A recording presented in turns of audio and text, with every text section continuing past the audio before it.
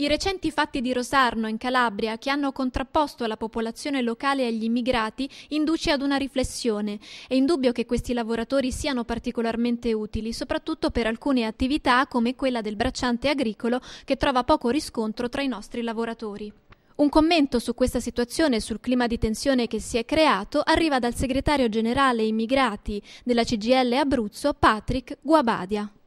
Dal mio punto di vista, intanto sono contento che c'è un fallimento totale di questo governo, un fallimento totale della legge Bossifini soprattutto.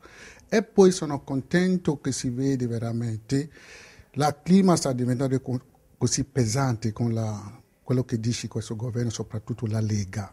Immigrati abbiamo visto che serve in questo paese, serve dalla dichiarazione fatta della da popolazione di Rosario che hanno bisogno di manodopera immigrati.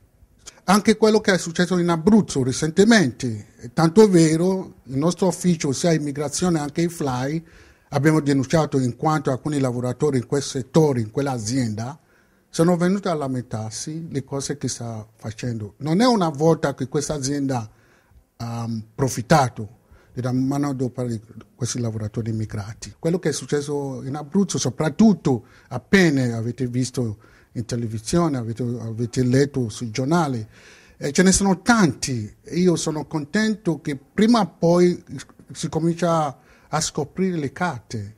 Per quanto riguarda il problema della clandestinità? Il problema della clandestinità eh, ce ne esiste non soltanto in Italia, anche in, in America stesso, un paese in cui facciamo riferimento, esiste in, in tutta Europa, nessuno, nessuno può fermare eh, il flusso immigratorio, siamo nati di spostarsi.